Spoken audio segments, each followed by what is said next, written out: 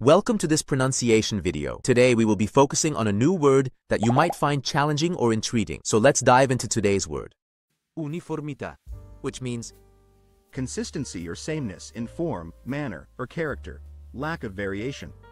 Let's say it all together. Uniformità.